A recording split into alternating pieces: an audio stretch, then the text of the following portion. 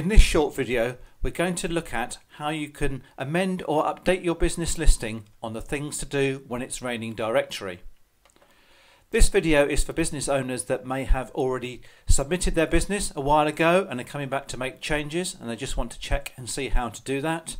or for businesses that may have claimed a business listing that's already been submitted and live on the things to do when it's raining directory website and now they want to come along and make some adjustments to the, the settings that were already created for them. Now first of all you come to the main uh, website domain and you will see on here there's a couple of areas where you can log in. You click on login and this way you can actually log in to your own personal account.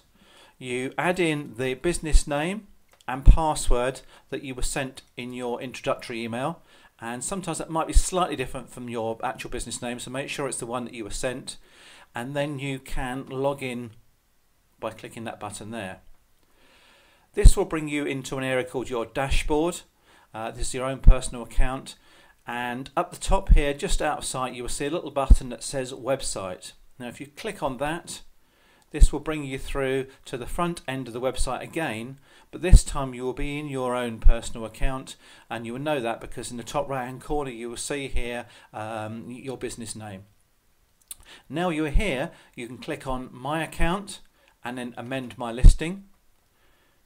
And because you are in your account and not just on the general website, this has populated all your business information that's been added to the, the website already uh, into these fields. So this is all the information that is already showing on the website.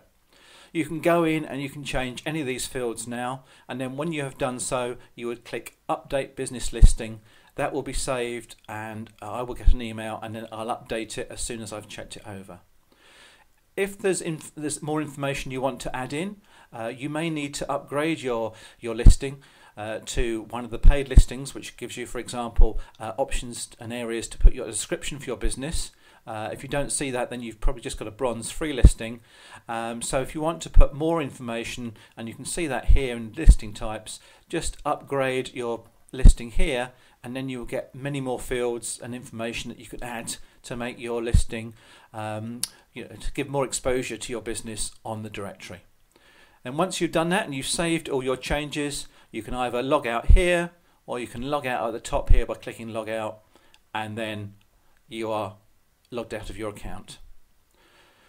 For more information on how anything that you might need to manage your um, listing accounts, you can click on uh, business owners here and this will kind of bring up a, a um, drop down menu here. Once the map has started resetting, resetting and you can see here you can click on any of these and they have more videos as well. But if you want any other help there's any questions you might have then please feel free to get in touch and answer me directly. Thanks very much